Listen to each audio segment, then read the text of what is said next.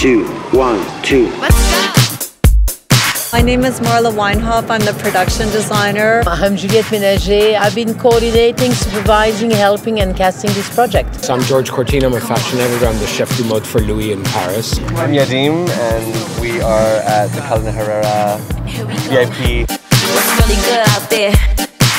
Come on, So we mix the real VIPs of New York, from a blogger to a DJ to a socialite to a very high-end family, to really make it like a real party in New York. We made the biggest, giantest chandelier, and we made a bookcase with a secret door. We made a VIP photo booth and many other little things. Been wild, it's fun. Working with Gisele is always such a pleasure because she's the most real, down to earth person.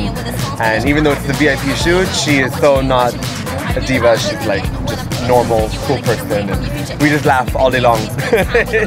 Well, because Gisele is fantastic and she's been in a great mood, and it's been really fun to work with her and hang out and have like four days to sort of do something instead of the usual one day that we have to come in and out, and so everyone's quite relaxed. It's been like a party. But even though I was working, it looked like such a fun party, and the actual cast I could tell was having a great time. like we're, we're shooting now, and then in between it's just laughing and dancing and having a lot of fun. So it doesn't feel like work.